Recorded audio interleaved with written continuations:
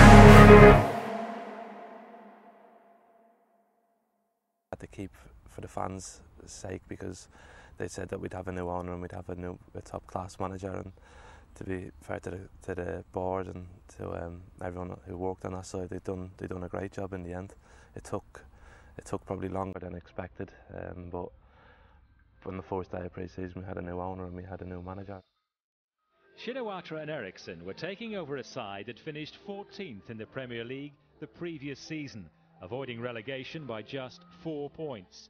New players were needed and duly arrived. In a hectic first month in charge, the new regime had spent more than 20 million pounds on eight signings. I knew about that uh, Manchester City was interested in me very, very late. So everything was done in a big rush, I would say. So when we started, of course, I, I looked at the players which were in, and uh, many of them I knew since uh, I was with England, of course. I saw, the, saw them playing many, many times. But um, with the project, Mr. Dr. Thaksin, his project that he wants to make the club bigger, better. He wants to be uh, maybe not top top in the in the league, but he wants to he wants to play in Europe in the future.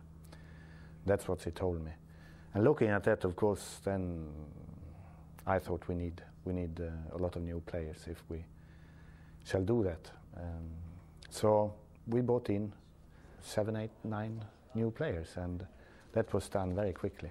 And the priority, which you said, was no, we don't want to buy any old football players, which um, uh, has a future behind them, more or less. uh, young players, interesting players, uh, players with good technique, uh, good football understanding, and yeah, here we are.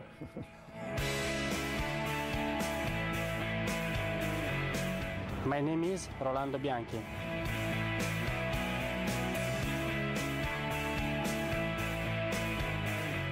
He scored a lot of goals in Italy last season. He's a young uh, striker. He's a bomber. Uh, he was a bomber in Italy, and I hope he will be that in the Premier League as well. Of course, that's why we bought him. Yeah, my name is Gelson Fernandes. My last club was FC Sion.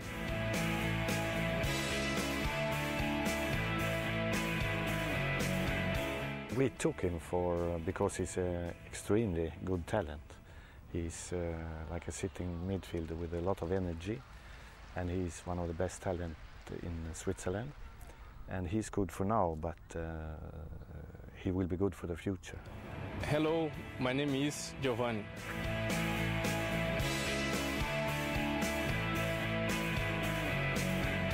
Yeah, Geovanni, he's uh, full of fantasy, good in one against one situations. He's good to, to have on the pitch, he's good to have on the bench to put in if you need uh, that kind of play. Uh, he's a, also a player with a lot of experience. My name is Martin Petrov.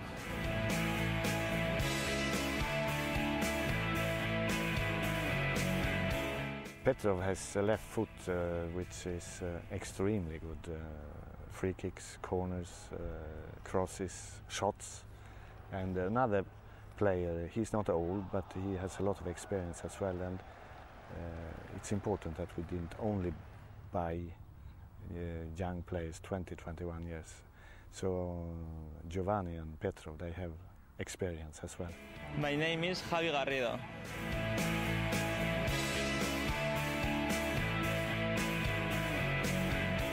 Garrido is a young player and he's uh, Basque. He's uh, powerful, good left foot, uh, good defender. I think it's a good buy for City. Hello, my name is Elano Blumer.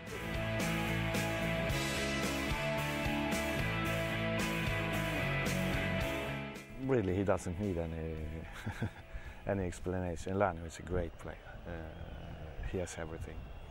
Can score goals, uh, fantasy, passing, shooting, and uh, maybe he's in one way the most experienced player we, we took in, even if he's a young player. Hi, my name is Valery Bojinov.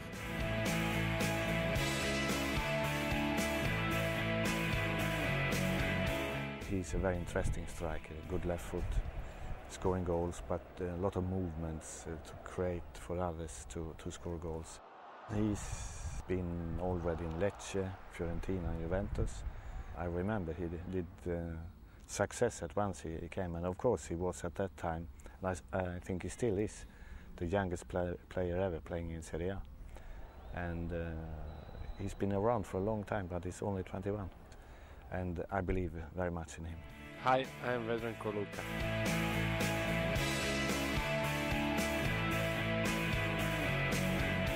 He's a defender who can play right back, he can play centre back, of course.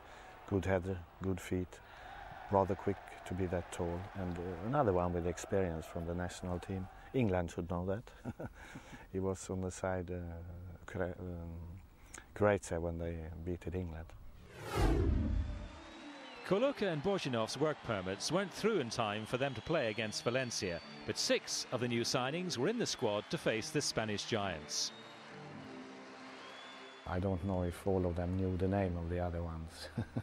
so, of course, it was difficult at that time, but um, you could see it in that game that, uh, yeah, it, it can be good, this.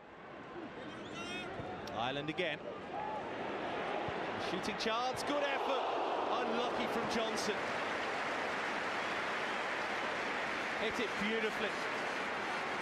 Canizares beaten. City a little bit unlucky. There's Ireland again, comes back to Elano. Sweeps it over, great ball! Oh, the second time they've hit the woodwork, that time Bianchi. Terrific ball. Good header as well. The second time Canizares beaten. I talked to all the players before, uh, team talk of course, and uh, I said we, we have very, very short time to, to get it right here because uh, the league starts very, very soon. So it's important that uh, we help each other out there and that you, you try your best and um, uh, try to play football together, try to help each other, run for each other. And that you could see in that game that they really tried hard. Geovanni to Petrov. Outside him is Garrido. Great ball in. Oh, and again, Hildebrand just didn't know what to do with it. Bianchi just couldn't get anything on it. My message to them was okay, we don't speak the same language. You're coming from different parts of the world. The league starts in few days. And if we want to have it right, if we want to perform, you really have to put your effort in and, uh, and try to help your, uh, your companion. Uh, and they did it, and they still do it. Despite a decent performance against Valencia, City lost 1 0. There were just seven days between that game and the big Premier League kick-off. It was a week full of all the usual pre-season formalities. New club suits. New faces.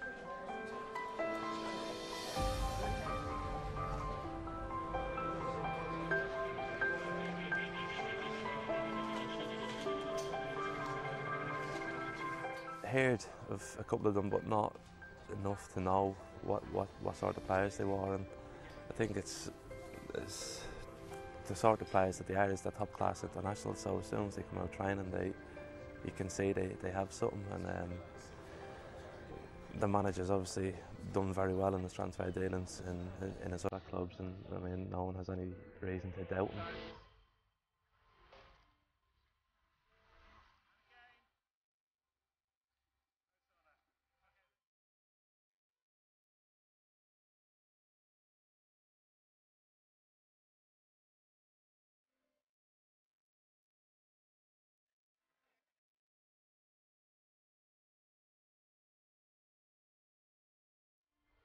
Spoke to David James actually, who, who had uh, spoke of him really highly, and I suppose Jamo has more reason than most to not like him because he, he got dropped, but he spoke really highly of him. Thought thought he was a very very nice man and a very good manager. So, I mean, for me personally, it was um, the chance, probably my first chance to work with a foreign a foreign coach. So it was just a bit of excitement and looking forward then to a, a whole new regime.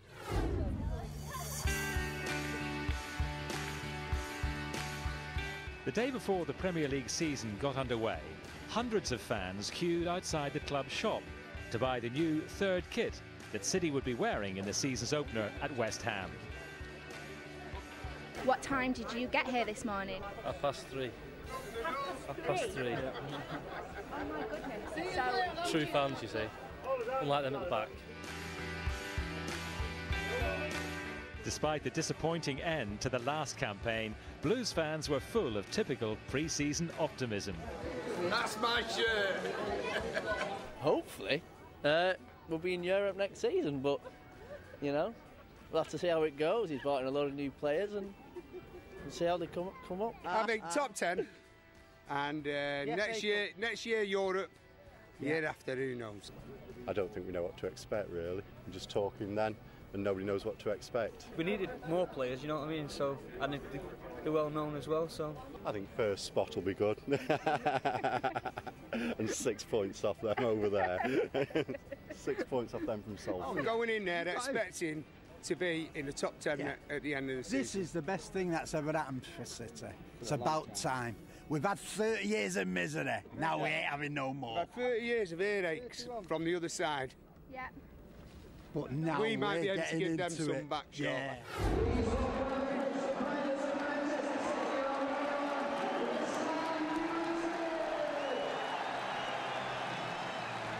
The new Premier League season for Manchester City as a new era begins as well for the club. Kicks off at West Ham United, a club that many people still believe shouldn't have survived in the Premiership. But it is a new era for Manchester City where Dr. Thaksin Shinawatra and Sven-Göran Eriksson now running the show at Eastlands. Well, it's Sven's first club game in more than six years.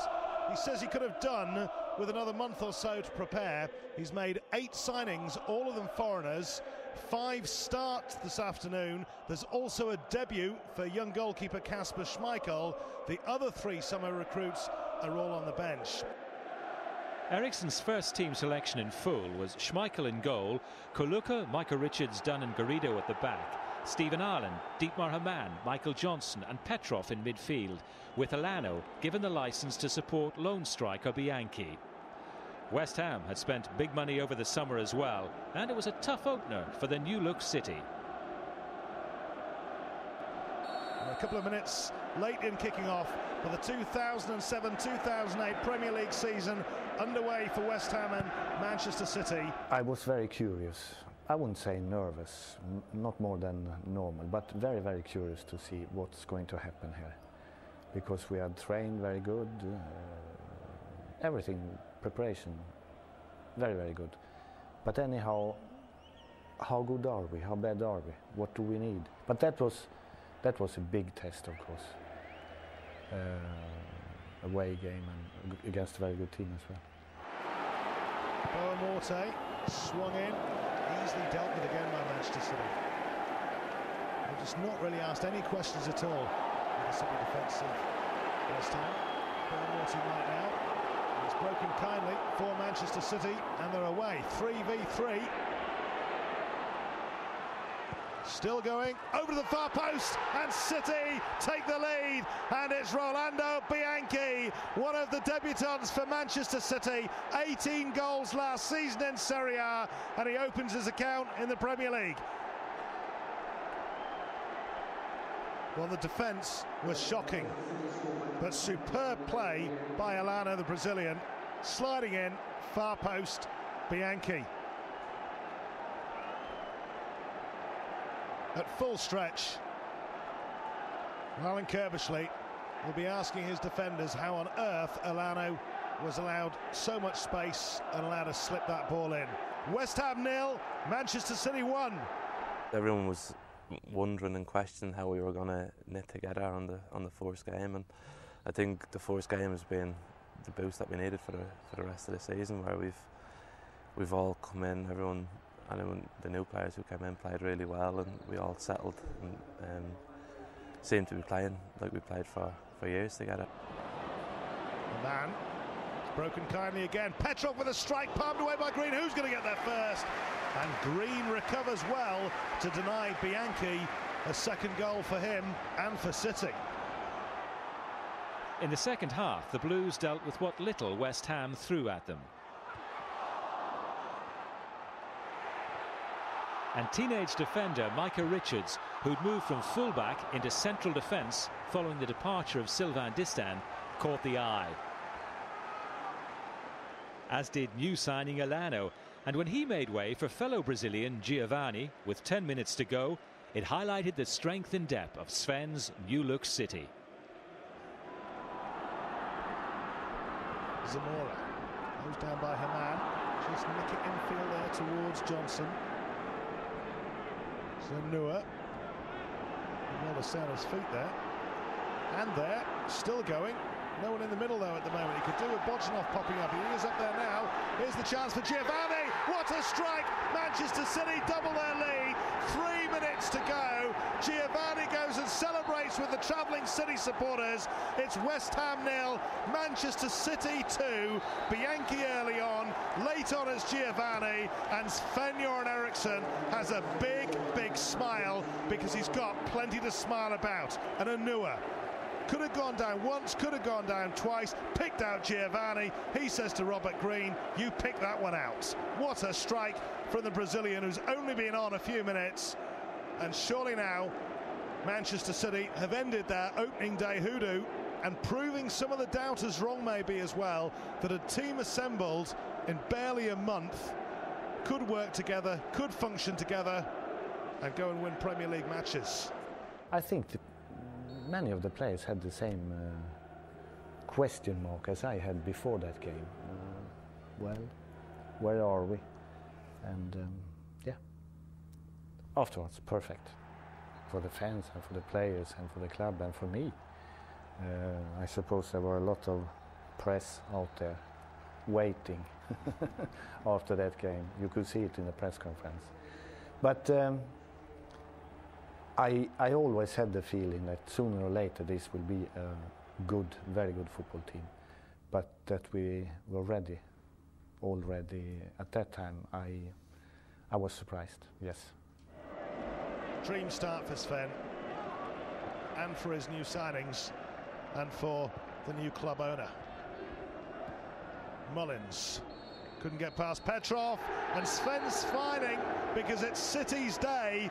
It's finished West Ham nil, Manchester City 2. Bianchi midway through the first half, then late on, the icing on a very sweet cake came from substitute Geovanni. 2 0, you know. Well, that's perhaps flattered West Ham United. It could have been by more, it should have been by more, but Sven would have settled for an opening day clean sheet and three points away from home.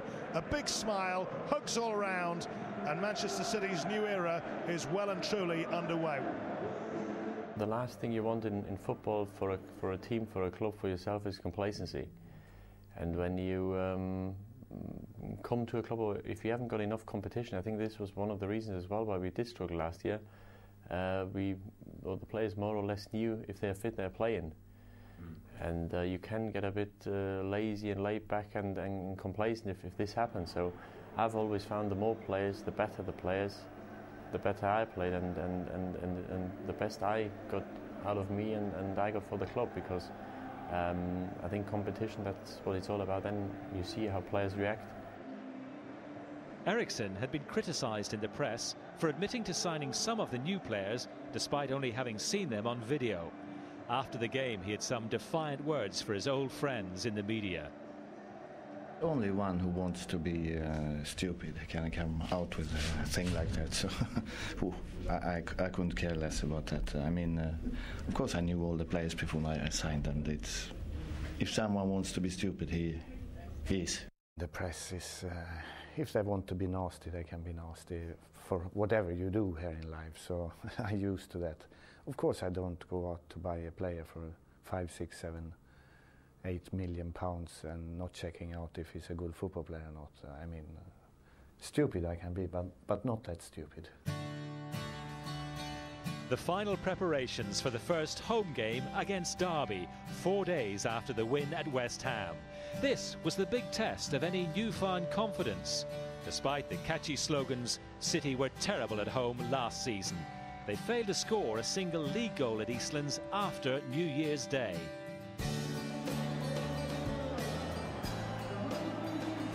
First home game in charge at Eastlands for Sven-Göran Eriksson. And there's a massive crowd in as well tonight. Not just to welcome the new manager and his new look team, but after the sparkling performance down at West Ham, they all want to know, can they break this home hoodoo? They've not scored here since New Year's Day. I never spoke to them about, uh, about that because what happened before I and the new players came here is, uh, has nothing to do with us today and I never speak about the past. Uh, I never told the players because it's like offending the, those players who played here last season uh, that they scored very few goals at home and so on. So I never speak about that. I only speak about the present and, and the future.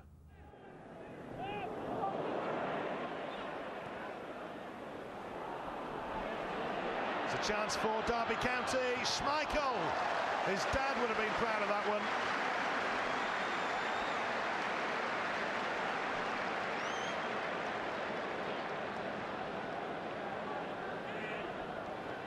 There's a push in the back on Stephen Pearson. Schmeichel seemed to be wrong-footed, but he made himself big. He's learnt a lot from Schmeichel Senior. You know, every game has its own story. So that was a difficult game because Derby fighting team, defending, defending, defending. So every time you win the ball, you almost have to to beat uh, 10 opponents all the time. And, and of course, it's difficult to find space and so on. But good teamwork, good, uh, good effort, good football. Uh, maybe not the best we have played, but uh, that was also merit to, to Derby because they, I think Derby did a very good game against us. Johnson. Good play by the youngster. Solano. It's Johnson again. It's Johnson. It's 1-0 to City at long, long last. Almost nine months on, City score at home. Sven's out of his seat, so two of the fans. It's Manchester City 1, Derby County nil. Last year it was, it was difficult because um, we had to hang in there because um, you know we were near relegation and we had to get a few results. So we played a quite defensive formation, and uh, you know I was you know part of the defensive formation, which you know you can't get forward that much. You know it's physically impossible. But this year, you know, we're a lot more attacking, and uh, and uh, that's enabled me to uh, get forward more. And there we talk about a very good football player. Unfortunately, it's been as a growing problem, so he he um, he doesn't train as much as he could do. But that will go over in a short time, I hope. Uh, yeah, fantastic goal and very very important goal to that won the game for us, and uh, that was the most important thing, of course. Three more points, and suddenly we have six after two games. The third game, Manchester United at home.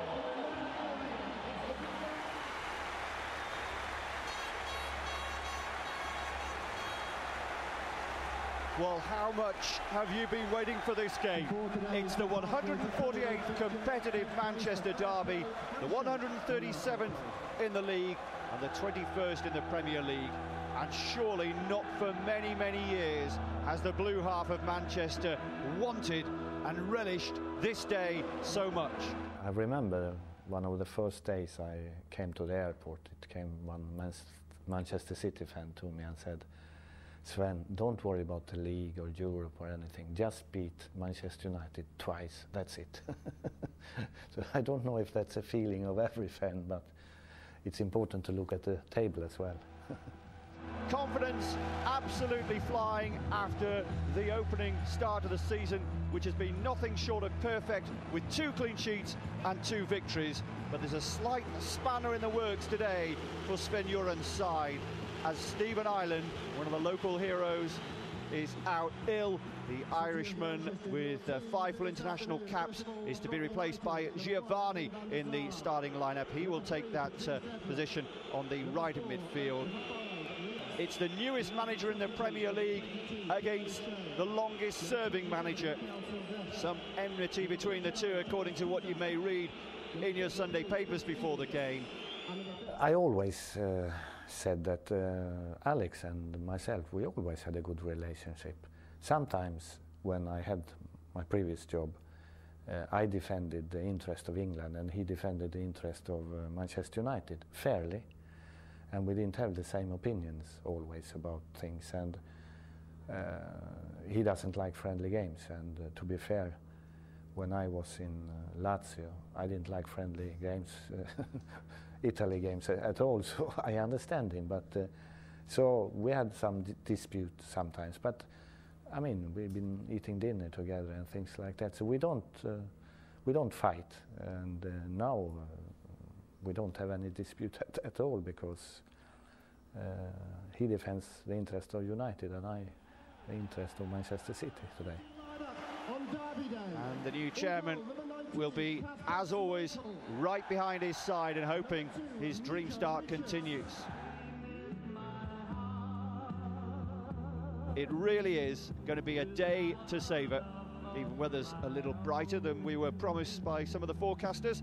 And City with this already good advantage over Manchester United, knowing that they will be above them no matter what at the end of today's game. Six points against two, and top spot beckons as well in the embryonic Premier League table. It's a little different from Stuart Pearce, you know. I uh, totally respect Stuart Pearce as a manager, you know. Give me my debut at 17, and um, you know he's a bit more shouty, you know, gets you up for the game. But Sven's a bit more relaxed and just you know chilled out, and you know gives you confidence, like to go out there. Before United game, he said to us all, you know. Uh, you, are better than you're better than them. You know, a better footballing team.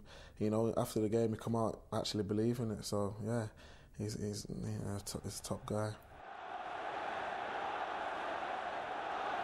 The atmosphere, exactly as you'd expect, is electric.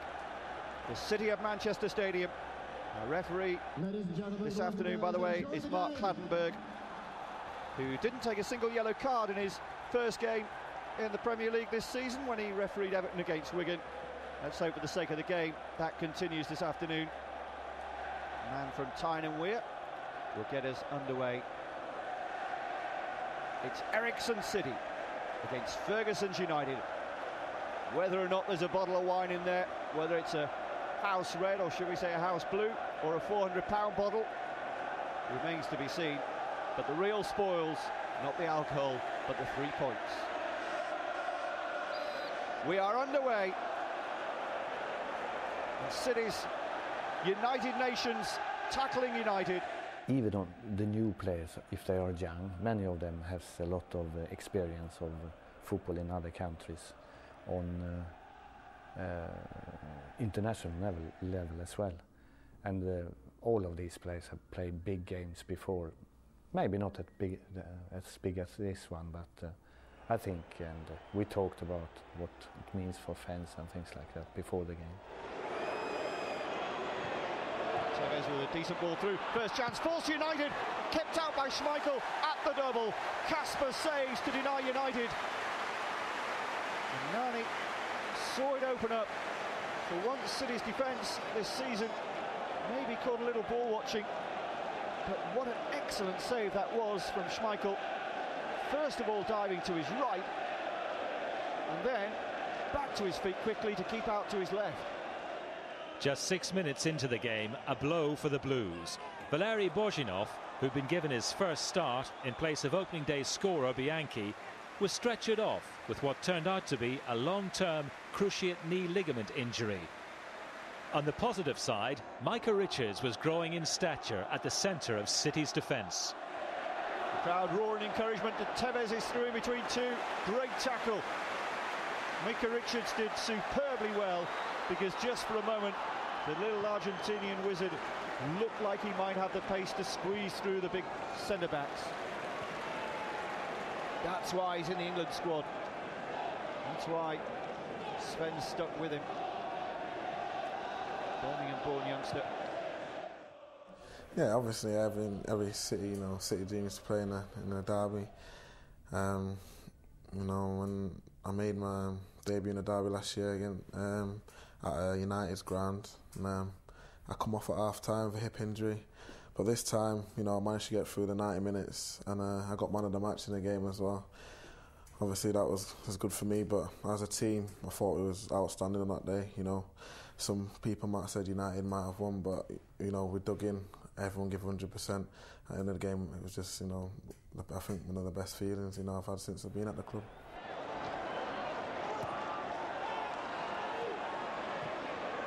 Lovely back heel from Nani, and the offside flag stays down. And City escape again, Patrice Evra. Lovely overlap. All coming down the City right at the moment. Great running from Evra. City again, slightly guilty of ball watching. Luca did just enough to put him off as he was making the room to shoot. Did I see the word penalty cross Mr Ferguson's lips? Manchester United are asking the questions at the moment. Through the middle again, Tevez, can Richards stop him again? Tevez has done him this time to the right, Richards recovers again brilliantly. Well, if you think Carlos Tevez is quick, take a look at Micah Richards. Yeah, Tevez, he was a handful, you know, but you know, some say I got the better of him, so I was, I was, I was, I was happy with that. Richards again beats Tevez. Nice layoff as well from Petro. Johnson. City expectations growing here. The shot is in! City take the lead! A bit of Brazilian magic against the run of play, you have to say. But Geovanni, whose place in the starting lineup wasn't even guaranteed, has given City an amazing lead. 31 minutes on the clock. Space for only the second time in the game. Johnson couldn't find the target with the first effort, but just a minute or two later, a wonderful shot from Geovanni. Took a slight deflection, did it off finish. It was enough to swerve it into the net. Van der Sar helpless, and City lead in the big derby. The Midas touch for Sven. It's happening again. And is history repeating itself? The man who scored for Benfica against Manchester United in December 2005 to knock them out of the Champions League effectively with the aid of a deflection of that man, Nemanja Vidic. Could be knocking already a big hole in Manchester United's title aspirations.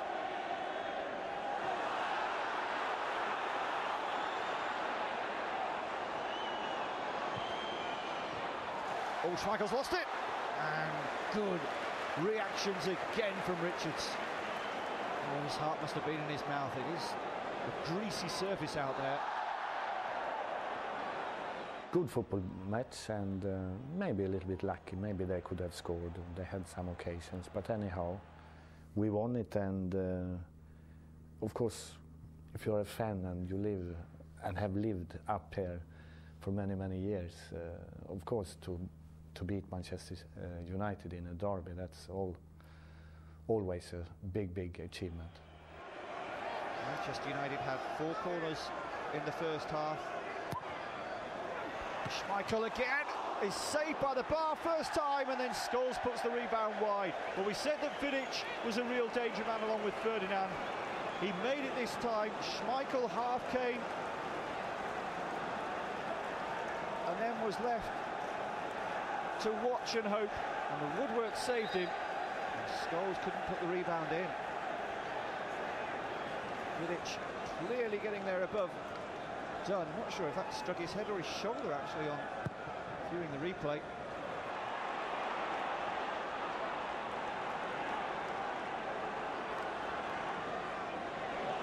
Lovely chip. Giggs drilled in the danger. Again, it's Richard. Again, that is top draw defending.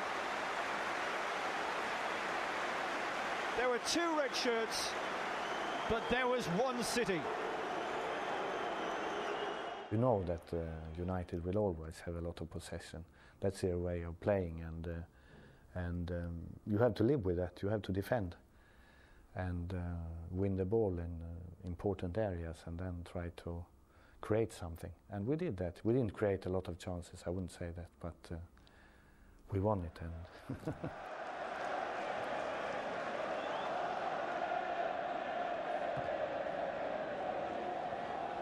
Chris Eagles another run here. Came on a sub against Portsmouth and immediately, very nearly a goal for either him or Tevez in front of him. Tevez was the nearer, tried to flick it goalwards and his boot just wouldn't make contact. Another chance for Manchester United. Giggs tormenting and Tevez just couldn't steer it in. St Penza calling for it wide against Everett. Physical. Referee ways play on there. Petrov. That's ambitious from Ćorluka.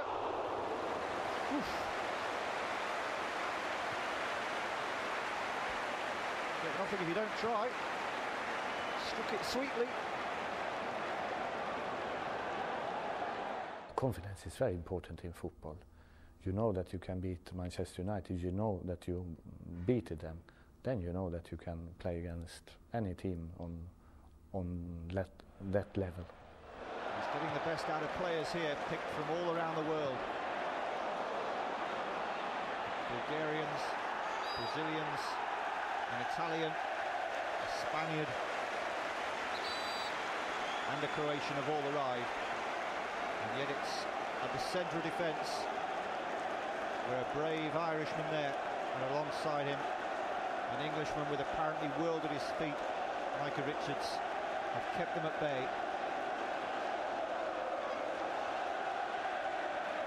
Fraser Campbell wearing 39 just caught Richard Dunne there. Now will he have to go off if there's blood on the face? We're in the final two minutes. Petrov receiving instructions Now, is that a signal? Is there going to be three minutes of time added on? Just thought I saw Sven raise three fingers. Geovanni's goal on 31 minutes, fit to win any derby. Did take a deflection, but what a shot it was.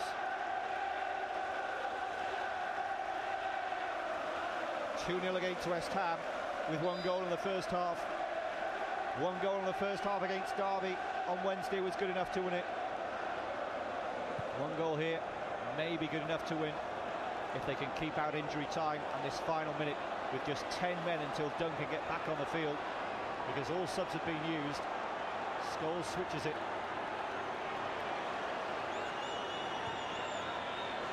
Could be a bit of danger here. Hamann's tracking back. Is he quick enough to snuff out Evra's chance of a cross?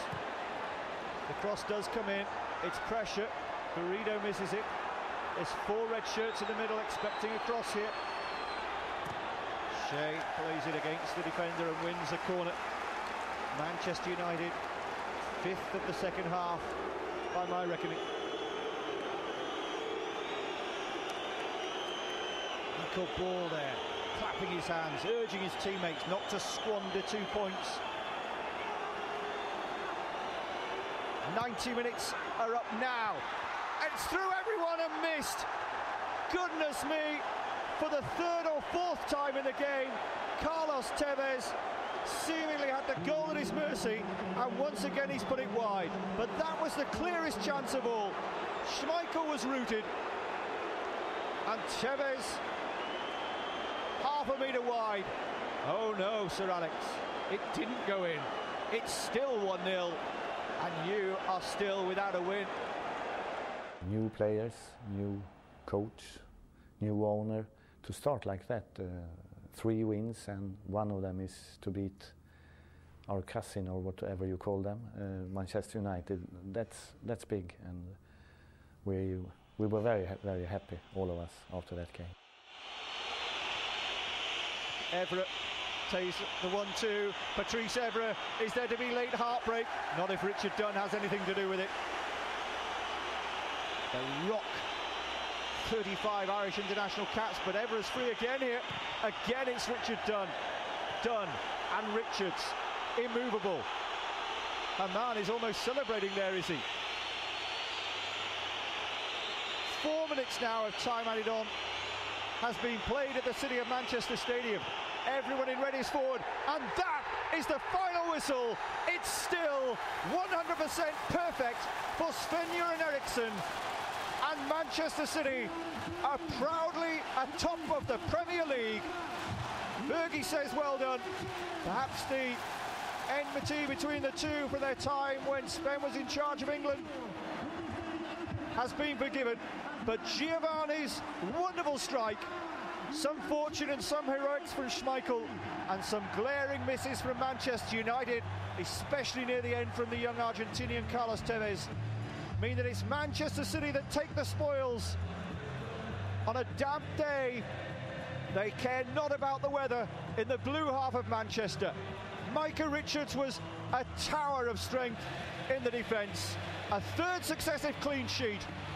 And Manchester City go to Arsenal believing they can do anything in what could be a magical season for those City fans around the world. Their dreams have come true today. They've beaten the great enemy for the third time in five home games. They win the local derby. And Sven-Göran Eriksson is the mastermind. Geovanni's goal then, the final score, Manchester City 1, Manchester United nil. To see that we are high in the league, that's, that's nice to open the newspaper in the morning and see the position in the table. Very, very nice. It might have been a bit early to be looking at league tables too seriously, but it did make wonderful reading for City fans after three games, and that derby win over United left them struggling in the bottom half. Everybody was already talking about the immediate impact Sven had made at City, and there was a noticeable air of confidence around the club. I think um, when any new manager coming into a club, he, there's, I suppose there's a lot of time spent on 11 v 11s just to make sure everyone knows their role in, in the team. Um, his, uh, sometimes 11 v 11s can get quite boring, but the way the manager does them in hands and Faz has done them is they they do them for like seven or eight minutes and make sure everyone gets to the point and then that's it and we'll change them and move on to something else so it keeps training fresh and, and interesting. And the new players had settled in quickly. Because they've all come at the same time. They don't speak the same language. They all want to be friends, and they all have to speak English. So it's uh, before we've probably had too many of the one country come at the one time, and they just end up for the corner friendly because they speak that language. Whereas these bunch of lads, as well as being very good players, they're very nice, very nice people, and they um, they want to be part of a, a club which is successful, and I'm sure they know the best way to that is to make sure everyone is together. On the training ground every day. Uh, yes, of course I'm there, and uh, I have a lot of good coaches. So we we plan in the morning what to do, and then we go out doing it. And sometimes I I take some session, other times the coaches. So, but it's always a teamwork, and when we go out there, we know exactly more or less every minute what we shall do today, and by planning that, uh, of course, we look, we're looking always at the last game we played. What was good, what was not good, what can we do better, if it's defending corners, if it's uh, attacking, if it's to keep the width better when we're attacking, if it's to track people down, uh, defending, whatever it is, uh, which you have to work on. his way of playing football is different. Um, there's a lot of managers and teams in the Premier League who play um, Premier League football, I suppose, 100 miles an hour up and down and up and down, and there's no real control. Whereas the manager wants us to have control of the ball at times, and for for the defenders, it's a lot better. We seem to not be under constant pressure this season, and when it goes forward or into midfield, the players are passing the ball around and keeping it. It's walking pace for City. They're in no rush now. They lead 1 0. Well, the two Portuguese speakers, the Brazilians Elano and Geovanni, exchanging passes three times before Elano says, Well, we're leading. We'll do what we want with it. All the way back to Schmeichel.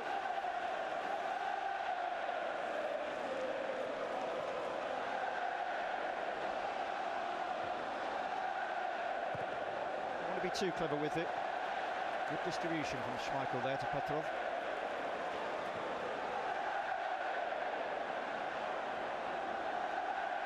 Strength from Mpenza was impressive.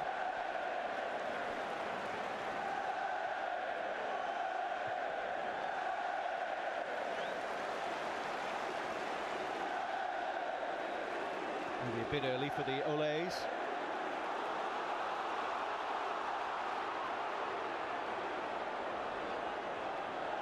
Geovanni again, here's Ćorluka pushing on more, forcing Nani back. Goes for the return, won't get there ahead of Van.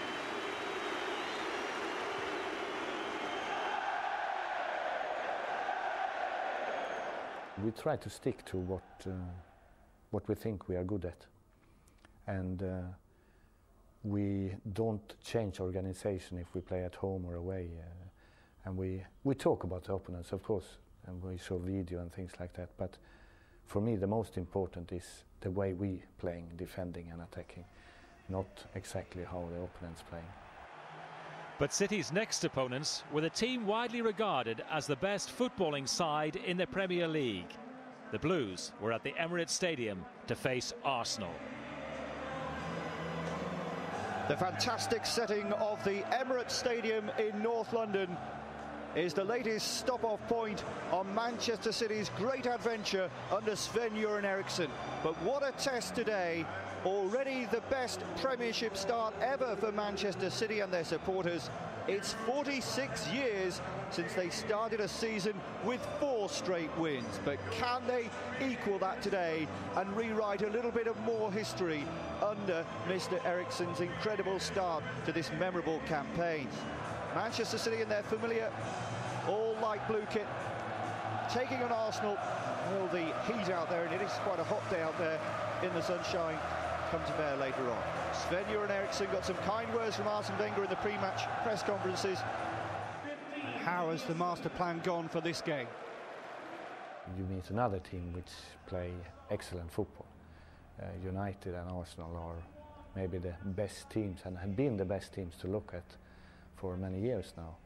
Uh, the ball goes very quickly, one touch, two touches, and you know, and we knew once again here we have to defend very well, very compact. Don't give them space and, and time. And I think we we did that, and we also created occasion against Arsenal, and uh, we we didn't went there just to put uh, 11 men in front of the goal. We we tried to play, and uh, yeah, a little bit of luck we can score as well. Oh, Richards can take on all comers at the moment. Did so for England midweek as well. Petrov. Johnson making the run, and Johnson is through here. It bounced kindly for him, needs support. Petrov on the left will strike for goal, but it's wide. Arsenal were caught square then, and they were well aware that there was a City player who'd strayed offside. Watching Mpenza, he'd gone too early. Johnson might have been trying to look for him, but it came back off the red shirt to play himself onside. Unfortunately, Petrov's angle was just a little bit too acute. Stephen Ireland celebrated his 21st birthday this week. What a great present it could be if he could score. Petrov, Ireland's on the far post. It's Petrov! It's just a shade away from continuing this remarkable City fairy tale. 57 minutes at the Emirates. Lovely disguised reverse pass. That was beautiful. And that was almost beautiful, wasn't it, from Petrov?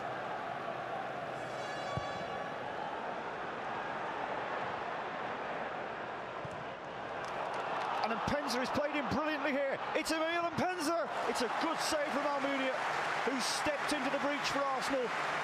Error prone Jens Lehmann out injured, and Almunia might just have stopped City taking the lead again. It was a wonderful piece of movement off the ball from Mpenza to get into the position. First time touch was brilliant from Ireland. The team we're in, you can express yourself and um, start trying things. You know, I felt like in the last few years, it's kind of if you lose the ball, you could lose your place. You know, so this time now with with Sven, it's just go and express yourself. So hopefully now I can start adding a bit more to my game, like uh, a few tricks and skills, and just just become myself.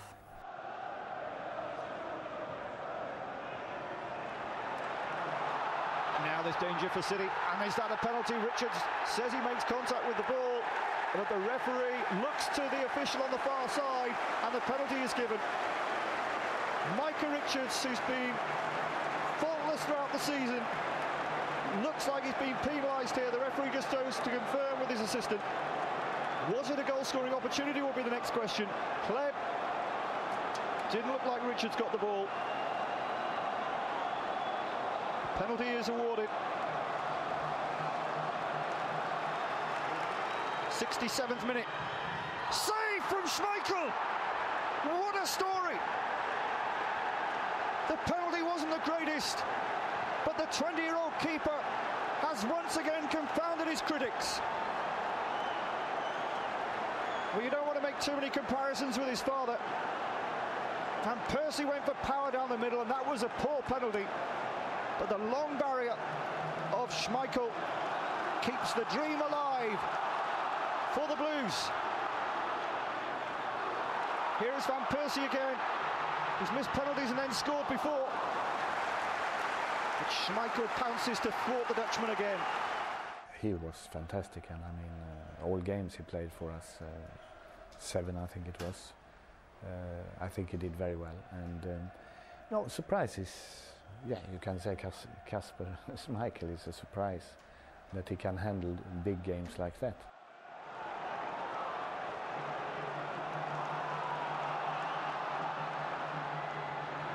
It's Fabregas, wide to Hleb again. Probably been Arsenal's best player this afternoon, and Fabregas has scored. Finally, the run is ended.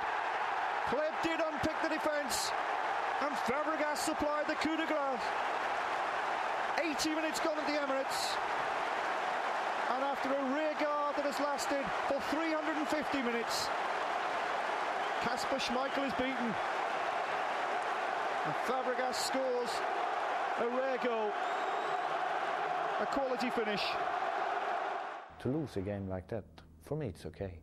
You know that the team, the players that did everything what we expected them to do, even more And uh, with a bit, little bit of luck, we could have had one point there. But Well, like father, like son now. Schmeichel's up again in the dying seconds at the Emirates. It's gone towards him and saved by his opposite number, Almunia.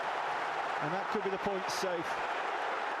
We played reasonably well to felt we probably could have got a, a draw or maybe could have snatched a victory at Arsenal but we were disappointed to have lost 1 0 at, at, at, Arsenal which is um, a sign of the way we're going. From that defeat I, I spoke to the players in the dressing room after and said okay we lost this game but we lost it with uh, the heads very high because sometimes you have to say, okay, we met Arsenal, they played extremely good football and they scored once and we were unlucky we didn't score. Next up was a testing Carling Cup second round tie at Championship side Bristol City and Sven rang the changes. I think uh, in occasions like that and sometimes uh, if we have a squad, squad of 20 plus players uh, when shall you test them and see if they're good enough? Those who normally sit on the bench or sit on the stand. So I, I thought at that time it was a very good opportunity. And I think they did very well. So I don't regret that at all. Yankee with another good layoff.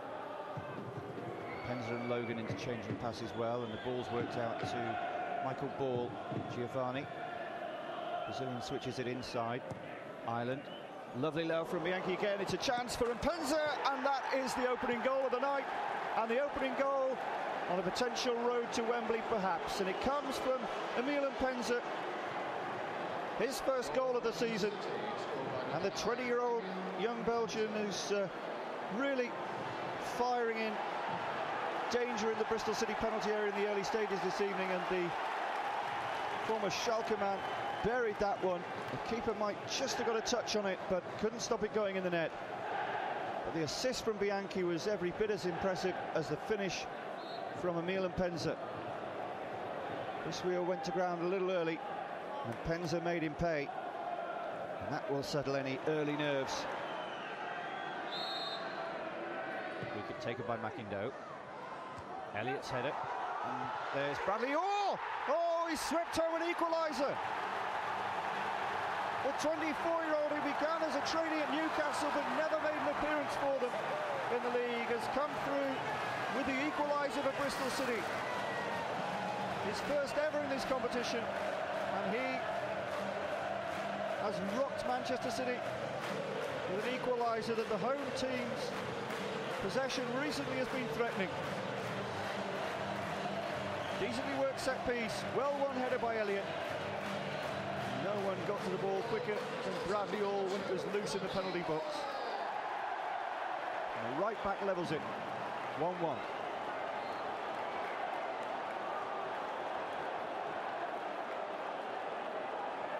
Now, could we be heading for extra time? Yeah, uh, it's a cup game and uh, you play against a team from a lower division. You know that they then that might be the game of the year for them to play against a Premier League club. So it's always difficult, but uh, we got through and good, very good. Space, it's Bianchi, and that's a wonderful goal. Great strike from Rolando Bianchi.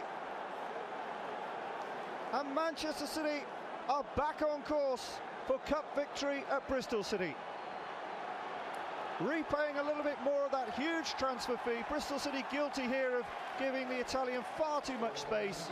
And from 22 yards or so, lovely curl on the ball. And Wheel at full stretch couldn't keep it out. The fourth highest goal scorer in Serie A last season before moving to Eastlands. And a wonderful goal for Bianchi. A little bit of emotion from the quiet Swede. City finished August with four wins and just that solitary defeat at Arsenal. That form was recognised with the Manager of the Month award for Eriksson and the Player of the Month award for Micah Richards, who'd impressed for City and England. it's nice to have been, you know, voted um, Barclays Player of the Month. But yeah, um, it's, it's nice. I've, I thought I've done all right um, this month, but it's not just me. I, I, think it's a team, team as well. It's been a team, team effort, and um, I've, I've, done away all right when I've been with England as well. So it's nice. For England, Richards had been bombing forward from right back, whilst at City he'd been all-conquering at centre half. Cut out again by who else? Micah Richards is having a stormer at the moment. Put me right back centre half. I'll, I'll do 100% for the team, and that's all I can say really.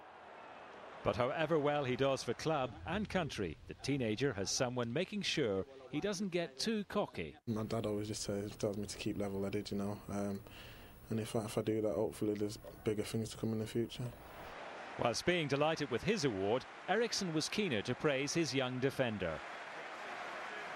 I think he deserves that better than I, I deserved it, uh, because he's been absolutely fantastic, and I don't think anyone could argue with that. I mean, how he played for us fantastically, and then 19 years old playing and playing very, very well for England. That's that's absolutely fantastic.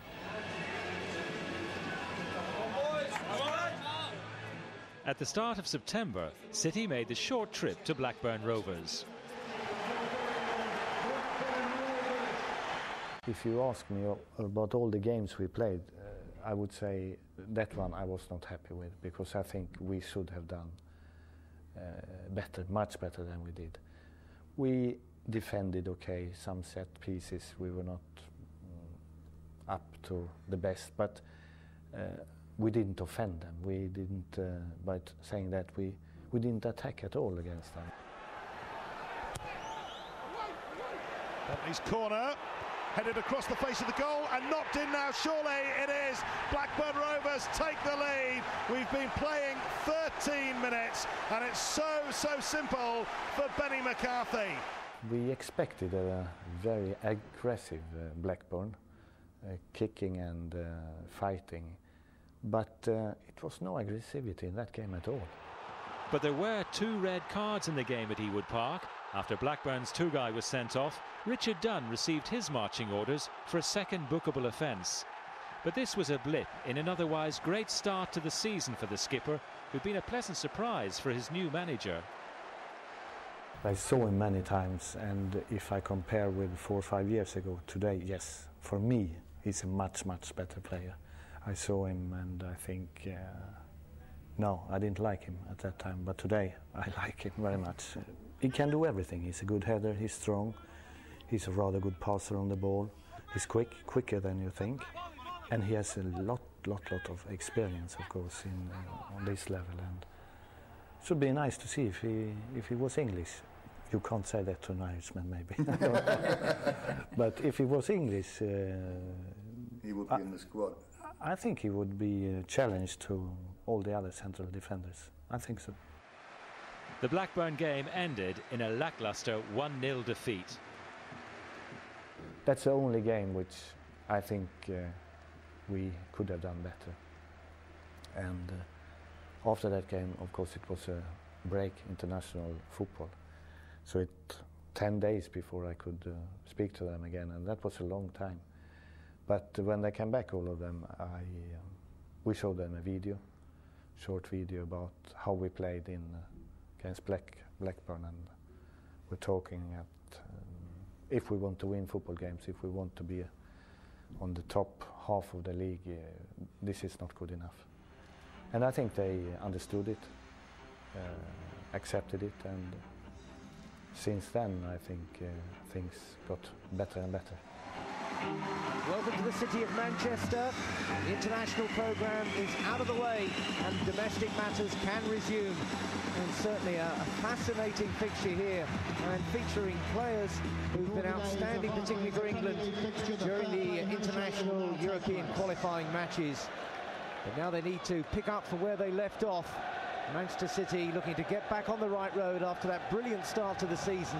Aston Villa come here to Eastlands, very much a team in form.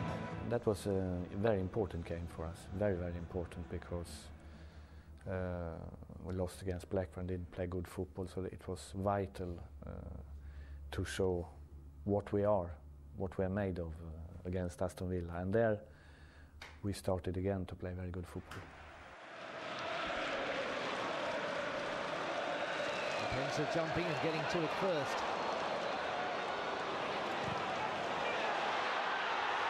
Now is there an opening? Oh, that's an excellent save.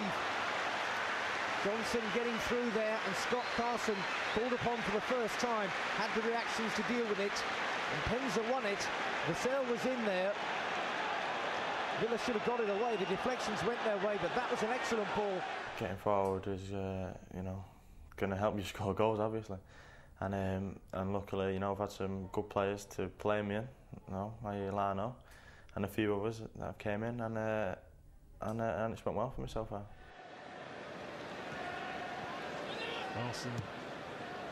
Getting ahead to that, but the further clearance was from Bouma, a man getting it down for City.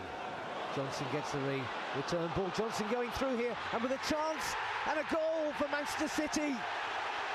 Excellent individual effort there by Michael Johnson, and what a flying start to the second half by the home side.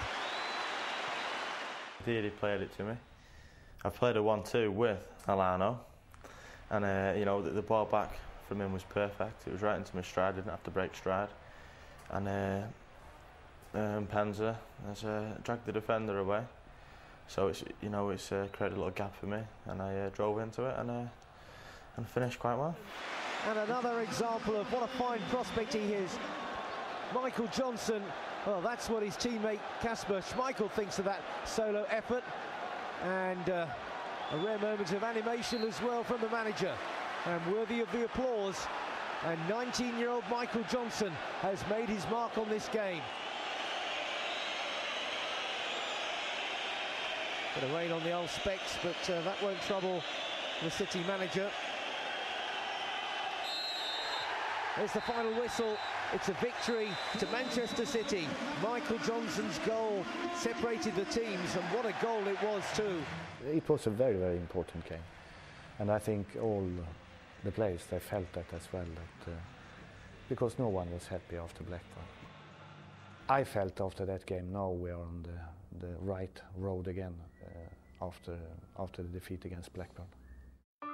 The progress of Johnson and Richards highlighted the ongoing success of City's acclaimed academy, from which 25 players have graduated to the first team in nine years. It's fantastic taking so coming through so many good football players. So how they work must be very good. The personnel there must do a great job, and the scouting must do a great job as well, uh, because uh, even if you work very hard, the scouting system is uh, many times as important as the quality you, you put on in work. I never look at the age uh, when I put on players. Uh, it doesn't matter. Uh, and I think they are young, but they, they are good, so they shall play. And that's it. and I hope they're coming through more young players in the future, and I'm, I'm sure it will.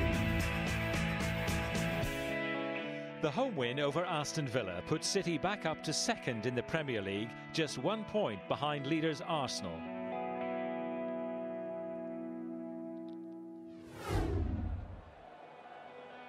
Next up was a trip to Fulham. It might have only been one point for the Blues, but it was one of the most entertaining games of the season.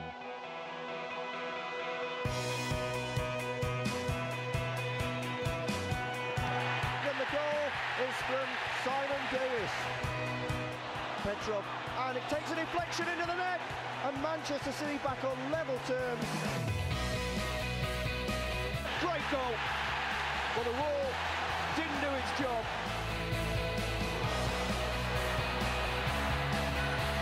Great save, surely, and it's in from Mpenza.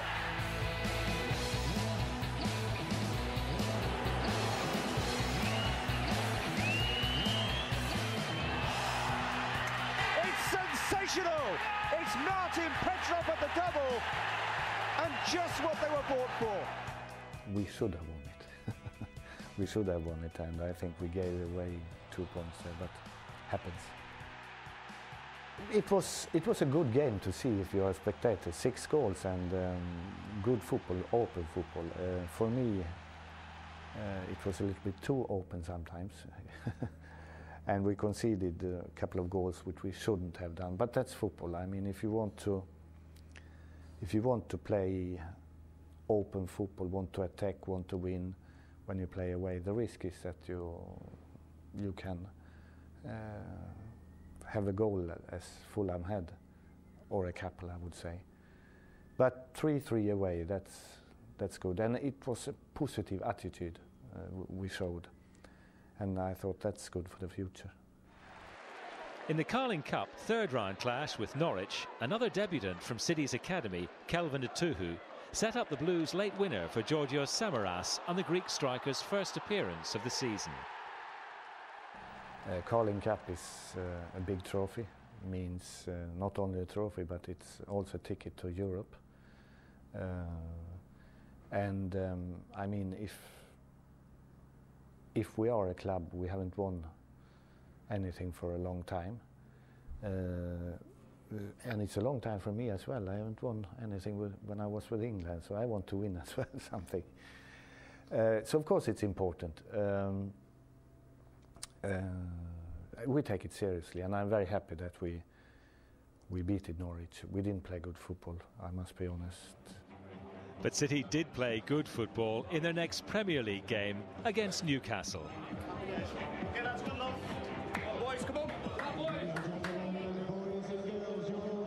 It's an early kick-off at Eastlands as City try and preserve their 100% home record. They're one of only two Premier League teams who can boast that, Arsenal being the other. And the fans are wondering whether it'll be a fifth successive 1-0 win here in League and Cup.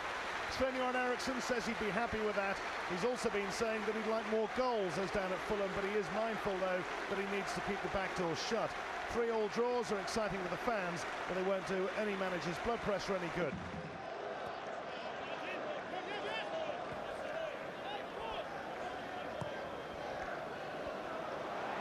Towards Martins is a chance. It's the first goal as well. And Obafemi Martins puts Newcastle United in front. His fourth of the season. The spectacular celebrations. I think it's fair to say that has probably come against the run of play, but Newcastle United won't mind. They're in front. It's City nil, Newcastle 1, 29 minutes gone. Well, it seemed to be all pretty innocuous. But there was the killer ball, a diagonal ball, and great touch there from Obafemi Martins, controlling it with one foot and then finishing it with the other. That is why Newcastle paid all those millions for him to Inter Milan. Brilliant little cushion there. And then sending it high between Richards and the goalkeeper Joe Hart. Ćorluka and Mpenza's just straight offside. He's getting back on now. Luca delayed the pass. Now the uh, chance could be on, and Ireland, is he going to go it alone? There must be a goal for Petrov, it is, it's the equaliser. Well, the lead for Newcastle lasted just eight minutes. Martin Petrov, two goals last week down at Fulham. Now he gets his first for Manchester City at Eastlands, and we're back level. It's Manchester City 1, Newcastle United 1. They beat the offside trap there, and it was a good ball in there by Ireland because he thought about going for goal, then he realised it was going to be a very, very acute angle, and he saw that Petrov was among a couple of players coming in to the area, and a super, super finish by the Bulgarian. Ireland, see a little look up there, but right across the area. Uh, you don't like to say that Petrov couldn't miss because we've seen players do miss from that kind of situation before.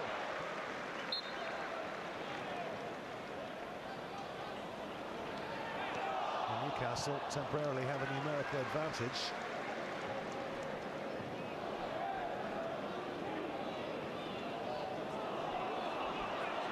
dropped into the uh, back line now. Well, they're streaking forward now with Petrov, who got City's equaliser in the first half. Can he tee up a a lead he can for Emil Mpenza. Brilliant. We've not had two minutes of the second half, and City have come from behind and they've taken the lead. He's scored one, he's created one. How he's loving his time at Eastlands, and Emil Mpenza gets his third goal of the season, and City are in front.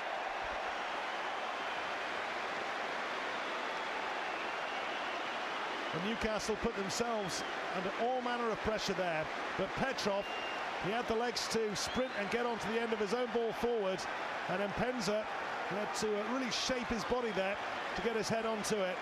And the flying header, and Shay Given could do nothing about that whatsoever. But Petrov, well, he's going to get as many plaudits for that as the goal scorer Emil Mpenza. 2-1 City. Petrov. Being pursued by Nicky Butt. He's got half a shirt already. Petrov was impressed with the former Manchester United midfielder. And there was the first tug. He's really yanked it, trying to get it off him. It's over his head. Now Elano, is he going to try to crack the free kick? Deserves a goal. Everybody wants to see him get a goal. He's going for it, and he's got it.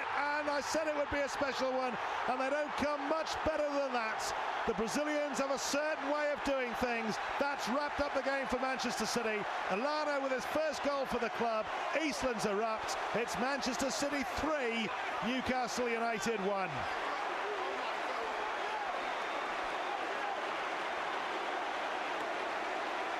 Well, we were wondering whether the free kick conceded by Nicky Butt would be costly. And that is straight into that top corner. He couldn't have picked it with any more precision whatsoever. A fairly casual run up to it. And how close is that? Right in the angle. He's deserved that goal. Top of the assists in the Premier League. And now he's off the mark and he's getting congratulated by every single one of his teammates.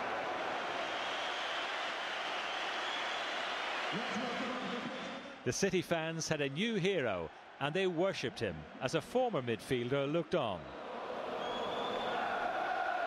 Joey Barton is probably thinking there's a revolution going on at City and he could have been a part of it.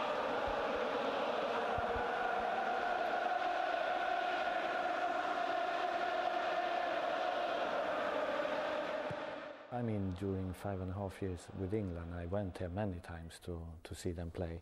So I knew that uh, the fans are very, very good, but uh, mm, living into it, it's much better than I, I thought. uh, they are fantastic, and uh, we need them, of course, and uh, it's beautiful to play when the stadium is, is full. And uh, even away, they are fantastic away, traveling in two, three thousands wonderful.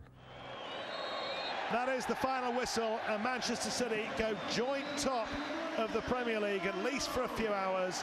They've beaten Newcastle United by three goals to one, coming from behind to win a game for the first time in two years.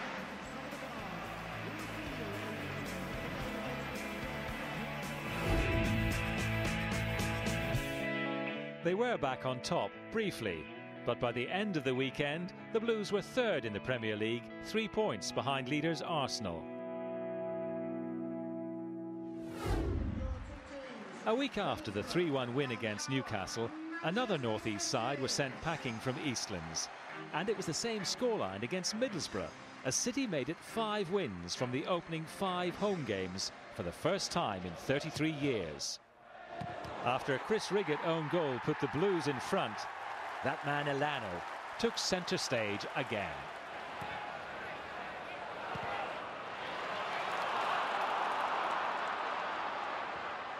It's up for Mpenza and in towards Johnson. Johnson, nice back heel. Here's Elano to strike it. What a goal! Well, we thought the one against Newcastle was special. Well, that one even more so coming from open play. It's Manchester City 2, Middlesbrough nil, 12 minutes before half-time. And yet again, Elano with an absolute stunner.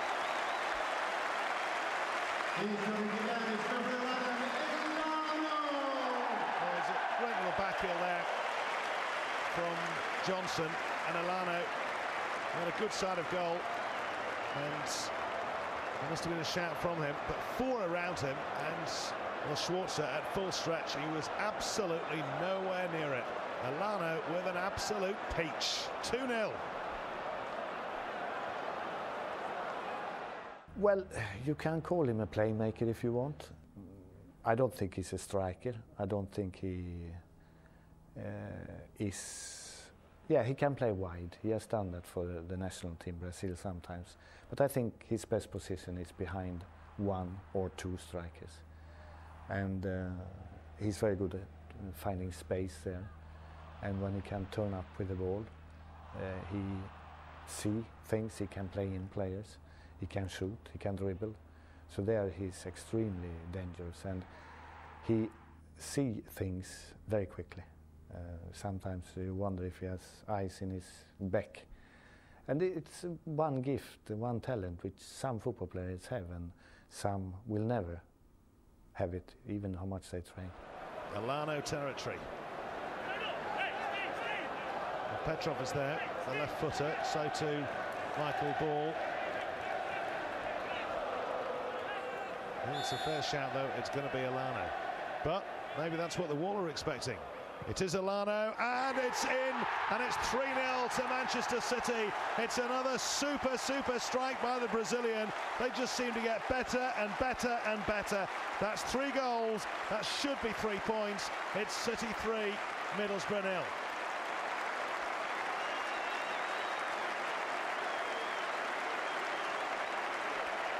Well, Schwarzer, he's just grasping at thin air. Nowhere near it. It's just absolute precision. And just like his goal last week from a free kick, it's on the proverbial postage stamp, right in that corner. Well, he loves the crowd. The crowd love him. If you are uh, a football player, if you are a football fan, uh, you want to see players like that who can do something special. You want to see Ronaldinho. You don't need to be a Barcelona fan to admire Ronaldinho. You want to see uh, those which have something special, and Elano is one of them. He has uh, something special. The win against Middlesbrough cemented City in third place in the Premier League. The Blues had spent only one week outside the top three. Third home game in a row, with Birmingham the visitors to Eastlands this time, gave City a chance to make it six wins out of six. The City of Manchester Stadium is expectant today, and helping the cause is Elano, the Brazilian, flying straight back from international duty in midweek, World Cup duty indeed, with Brazil, where he scored as a substitute in the early hours of Thursday morning, but yet is still, having travelled right across the Atlantic, fit for action today.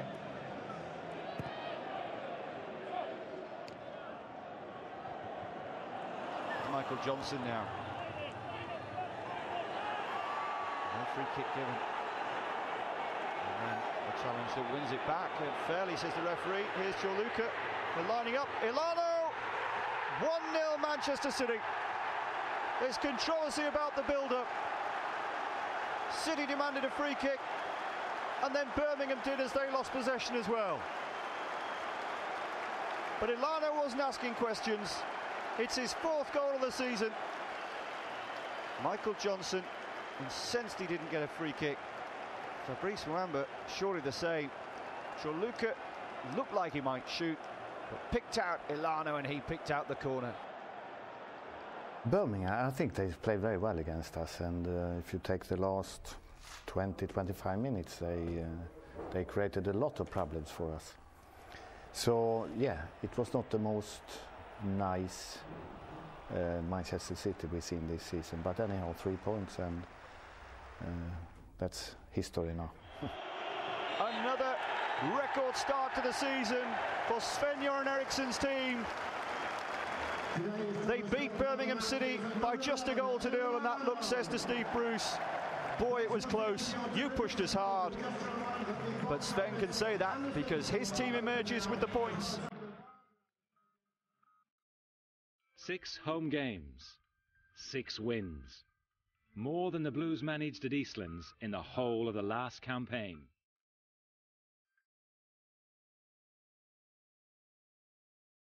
With the new foreign stars complementing the homegrown talent, City's best start to a season in years meant they were flying high in the Premier League and earning plaudits for their stylish football. Few people would have believed how big and instant an impact the new regime would have at Manchester City. He's pretty much what, what you'd expect him to be. Um, people have uh, this perception that he's you know very quiet and things like that. Well, he is kind of. He keeps himself to himself. Um, but uh, you know he's a good character. He makes me laugh. He makes everyone laugh. And, um, and yeah, and he's a great manager. You've seen what he's done with the club already. I think everywhere the expectation has risen. Everyone's saying they're really good to watch and they could have a good season. And that, but for us, it's um, it's just the same. Um, we came into the season not really knowing what to expect of ourselves, I suppose, because we're in a new team. So far, it's gone really well. Massive confidence, you know. Uh, if you look, at you know the league table now, it's just you know we're flying up there, you know, with the, with the, with the big guns, so to say. So, you know, we'll try to keep that going for as long as possible. But you know, we'll get too excited. You know, we don't want to give the fans, you know, too much, you know, to expect. But you know, as long as we're playing well, you know, keep picking up points, yeah, we'll be fine this season. We wanted to get in the top ten, and I think that's well, we're in our um, reach now, and. Um, come Christmas, if we've got the right number of points, hopefully we can set a new target further up the table. I think uh, the team confirmed that uh, we are a good football team. How good we are, uh, what position we will have Christmas, uh, we will have in May, I don't know. Uh, but we are a good football team and uh, we're playing attractive football and I hope we can go on like that. And I think we can go on like that.